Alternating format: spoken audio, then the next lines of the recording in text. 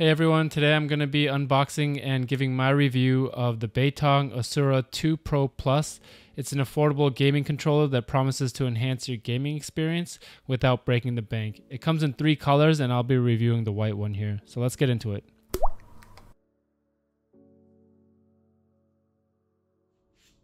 So we'll start with the unboxing. The Asura 2 Pro Plus comes in this nice clean packaging.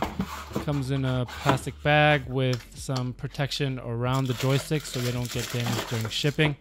Inside is the controller itself. It comes with a USB cable and a wireless dongle and a startup guide. It's light in hand but doesn't feel cheap. It has Hall effect joysticks, meaning there's no joystick drift and the movement feels clean. The trigger and shoulder buttons feel pretty standard, but the face buttons are mechanical and have a nice satisfying click. The back buttons also have a nice tactile feel with a satisfying click. Overall, the construction feels high quality. Nice little built-in slot for the Wi-Fi dongle as well. The plastic feels high quality and on the back side of the controller, they've added a textured pattern to create more grip. It's pretty comfortable in hand and it's comfortable for long gaming sessions as I've tested. The design is basically an Xbox controller with a few slight differences, but yeah, it's the Xbox controller with the offset joysticks and a traditional upright down left D-pad. The joysticks are not interchangeable or removable on this model, they are fixed to the controller.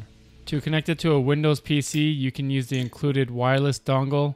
It is recognized immediately and works plug and play, or you can use a USB connection the USB port is right on top of the controller as shown here. It also works as a Bluetooth controller, which I tried on my Lenovo Legion Go as you can see here. It's also compatible with the Nintendo Switch, Android, or iPhone, and I guess Tesla's too. The controller is recognized as an Xbox controller and it works just like one. I was able to plug it in and start playing Warzone without any issues. However, there is a control app from Beitong available from their website and the link is down below in the video description. With this app, you can customize the controller's functions and features to your liking. For me, I usually don't get too detailed with customization, but I do prefer zero dead zone on my sticks, and I usually turn off controller vibration. You can also customize the RGB ring and set custom macros. The application is very in depth, and I was surprised by its quality and features. I was able to map my back pedal buttons to slide cancel in Warzone pretty easily. So here's some footage of me testing the controller on Call of Duty Modern Warfare 3. As you can see, it performs well. The experience was smooth and enjoyable. The Hall effect joysticks feel light and responsive in hand.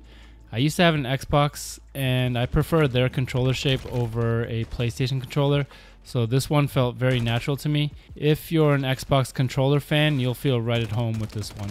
In terms of battery life, it has a 600 milliamp hour battery, and I tested it for a few hours without any interruptions. Moving on from COD, I tested it on Cyberpunk 2077, and as expected, it performed very well and was comfortable to use. Whether I was driving or walking around or in a combat situation, this controller was capable of providing a good experience, and I was very impressed by its performance. Lastly, I connected it via Bluetooth to my Lenovo Legion Go and played some NBA 2K. Again, there was no input latency, even on Bluetooth, and the controller felt very nice and responsive. The uh, mechanical face buttons are also kind of satisfying to use because they have a tactile click at full press, as opposed to like that normal mushy button feel we have with traditional controllers.